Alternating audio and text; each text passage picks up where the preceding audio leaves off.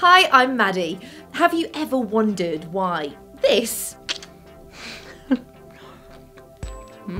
can lead to this? Ow! oh! Oh! Ow! How is it possible that a delicious cold treat can cause such an instant stabbing pain? What is actually going on up there? The scientific term for brain freeze or an ice cream headache is sphenopalatine ganglioneuralgia, and we experience it when we eat or drink something cold that bit too quickly. As the chill of a raspberry ripple or a rocket ice lolly cools our mouths and the backs of our throats, it hits a juncture where we have a key blood vessel. The internal carotid artery is a paired vessel which runs parallel to the jugular vein in our neck. Its purpose to deliver oxygenated blood to our brain.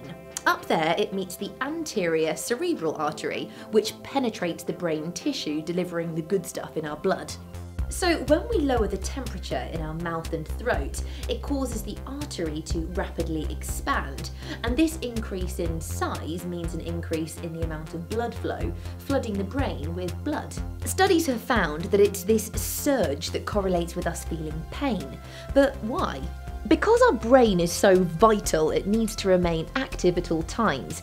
By pulling extra blood into the tissue, it's keeping itself warm against the sudden cold temperature. However, because our brain is a relatively closed structure, neuroscientists believe that the pressure caused by this sudden invasion of blood is the source of that stabbing pain we're all so familiar with. Well, eventually the brain will stop the pain itself through vasoconstriction of the blood vessels, narrowing them down and regulating the blood flow. But you can help it along by jamming your tongue against the roof of your mouth or by drinking something lukewarm to help regulate the temperature. Or you could just not drink or eat anything cold in the first place. Which, frankly, I'm not prepared to do.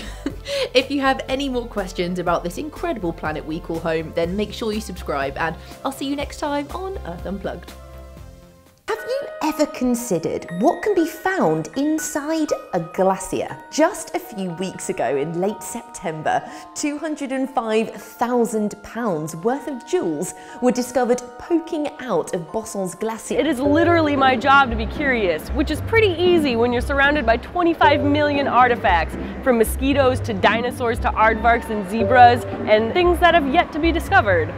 And that got me thinking about thinking. Is a bigger brain a better brain?